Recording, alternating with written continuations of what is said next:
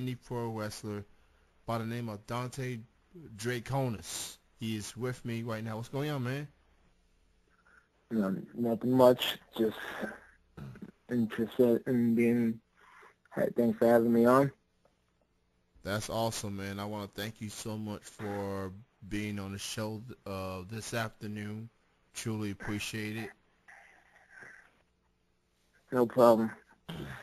So, One day. So let's go ahead and get started. Exactly what? How did you got started in wrestling? Um, be honest with you, wrestling's been always in my blood. Like I've always wanted to do it. Um, but career changes here and there. But um, about four years ago, decided to pursue it heavily. Um, I met Amazing Red and Brian XL of House of Glory Wrestling School in New York. And um, after a brief conversation with them, I started training. And about three and a half years later, I'm still doing it and loving every minute of it. So you mentioned Amazing Red, very well-known wrestler from his days with TNA, very talented wrestler, one of the true pioneers of the X division. Um, what was it like getting a chance to work with him and training with him, etc.? I mean, he's uh, one of those trainers that gets in the ring with you, and it's something that a lot of people don't get in other places, not to say, but it's it's a different like his his breed of t- training is just it's so vigorous and so um, it's so motivating. Like it it pushes you to your limits and makes you want more, if you know what I mean. That's awesome. So. That's absolutely awesome. So you got this nickname, the Juggernaut, um, and what I want to know this is what's very interesting. I always want to know the story behind these characters that comes into life. So how did your character um, came to life? Was it through a uh, promoter's idea? Was it your idea? Was it a collective both? Uh, it's it was mainly my idea. I worked to figure out what I wanted to do. I was undecided at times. Like I had a gimmick, just not a name.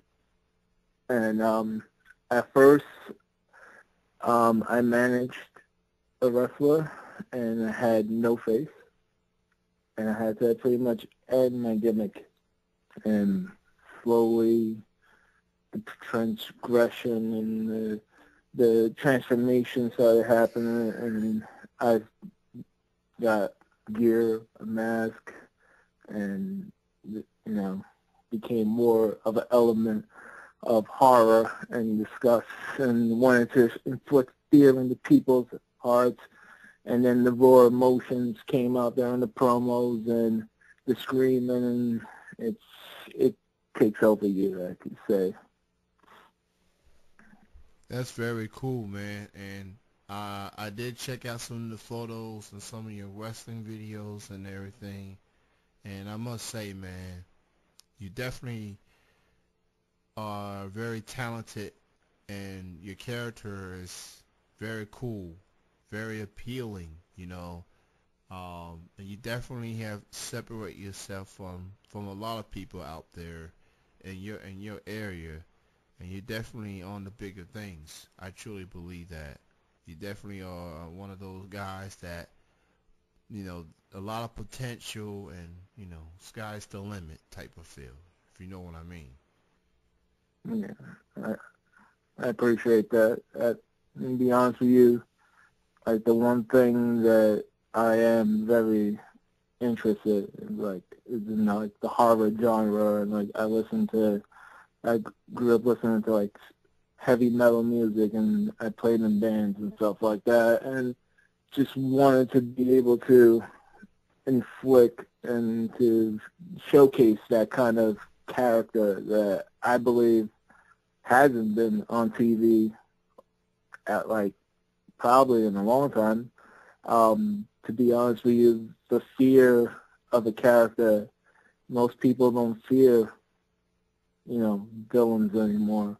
You know, my character is who it's an extension of who I am, and I want to be able to show you from when I come out that curtain that you're going to see something that you never that you've never seen before, and this is going to be something that you probably going to check underneath your bed after you get home, just in case to see if I'm there. Well said, man. Definitely well said. Um, now, who do you consider like influences in your career? Those that you looked up to, or those that may have inspired you to get into wrestling? Well, to be honest with you, as watching wrestling growing up, I was a very, you know, you know, big Bret Hart fan. Um, he was he was the consummate face, you could say, good guy.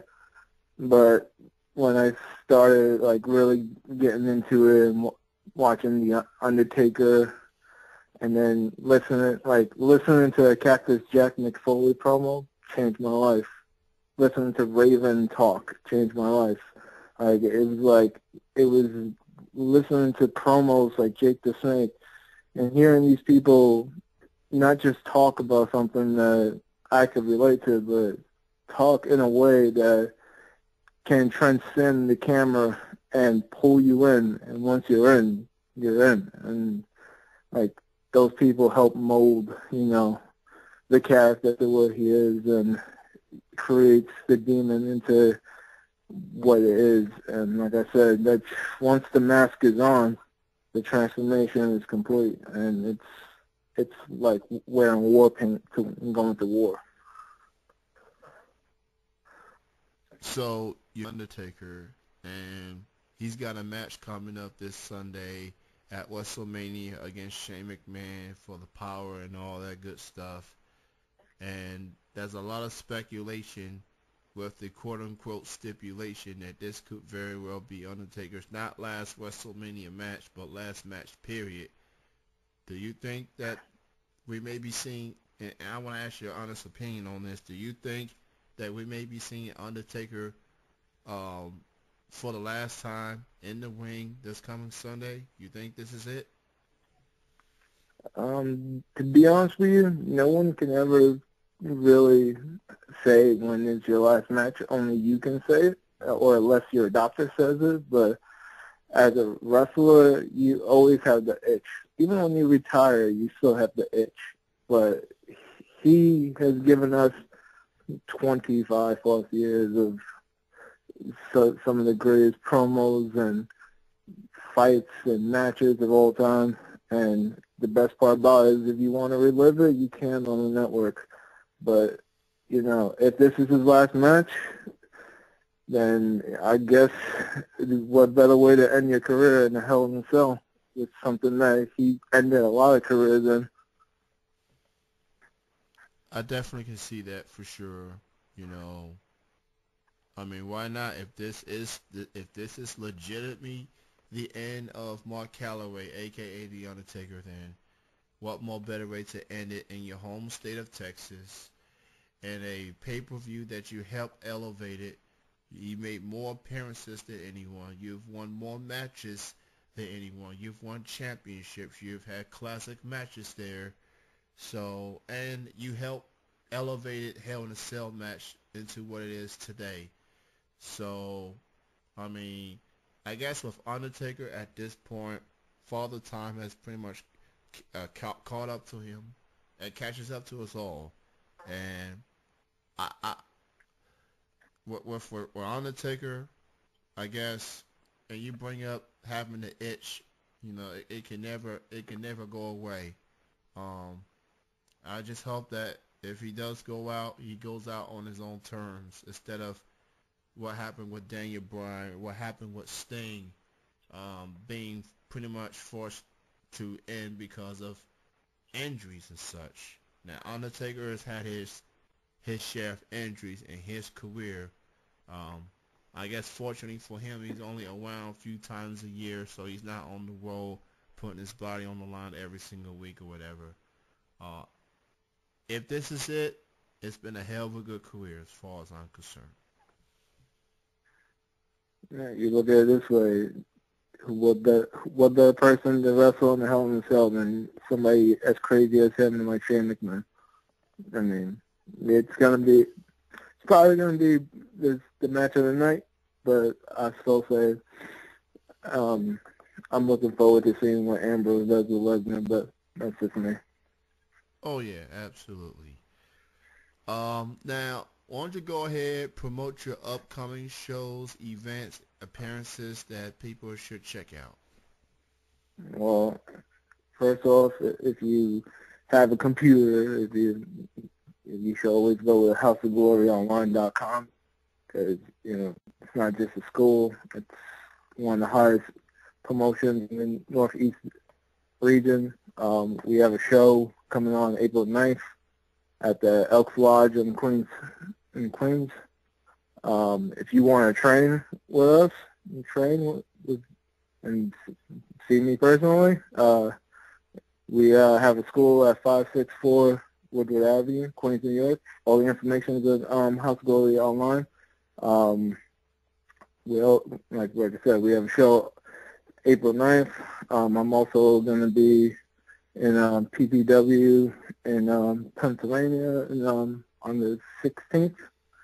And you, like I said, you never know when where I'm going to be, where, when I'm going to strike. But when I do, it's going to be hell to pay. Everyone, please check this man out, Dante Draconis. Support your local indie wrestling companies near you. Check out some amazing talent and, you know, show you support. They put their bodies and their lives literally on the line just so they can entertain us fans. Um, and I get it. People be so caught up on what's going on on the pros, but without the indies, there is no pros. All the wrestlers you see on television, they didn't get started in the pros. They got started in the indies. The indies is where it's at. Who knows? You may see the next big star for all I know. But aside for that, just go out there, check the out, check out these talented indie talent, and uh, like Dante and company, and uh, show you support. Um, and for people that wants to get in touch with you, book you for shows, or just interact with you social media wise, why don't you go ahead promote your social media links? Uh, if you have Twitter or Instagram, it's uh, follow Draconis. Um, if you want to any bookings or anything, you just go to Draconis Bookings at gmail.com. If you need to get any information, just go to Twitter at follow Draconis. It's all there. Well, Dante, it was great chatting with you. Thank you so much for your time. Uh, continued success goes out to you.